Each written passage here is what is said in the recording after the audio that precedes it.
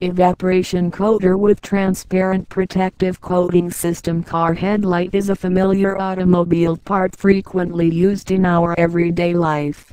It is able to reflect converged light given off from a bulb to 100 meters away by the high reflectivity of headlight shade.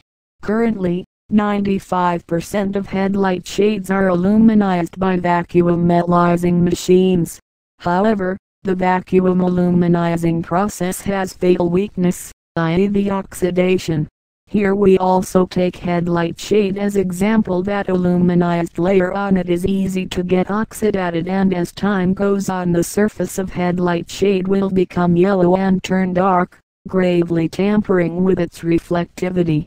Contemporarily, many factories solve this problem by the process of transparent varnishing spraying as protective top coating after aluminizing coating but by the technology of transparent varnishing there had following problems. First, spraying machines and varnish material are costly in production. Second, operation cost is much dear as highly purified workshop required and constant temperature and constant humidity system plus spraying machines consume substantial electricity. Third, as aluminized substrate headlight Shades should be taken out of vacuum metallizing chamber and shifted to varnishing spraying process. The contamination should be happened inevitably by dusty adhesion and substandard products are increased. Fourth, as the issue of environmental protection is vitally important in our world, the varnishing process causes unavoidably pollution to nature.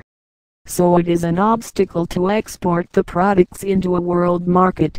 China Guangdong PVD Metallizer Company has successfully solved the problems by the technology of twice coating completed simultaneously, i.e. aluminizing as base coating and silicon oxide deposition as top coating are achieved in one coating cycle without taking substrate products out of the metallizing chamber.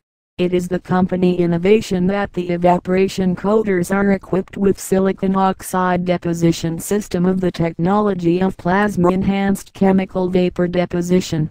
The process is that after aluminization coating, the machine starts to gasify silicon oxide material by gas inflating with constant speed into the chamber under control of MFC and the gas ionized by plasma discharge between electrode panels is deposited on the surface of substrate products forming highly dense, transparent protective film with characteristics of good chemical stability, excellent adhesion, resistance to alkali, acid fastness without any pollution to nature. So the evaporation coaters with transparent protective coating system are extensively used in many industries in plastic, glass making, hardware, etc. to meet various industrial demands.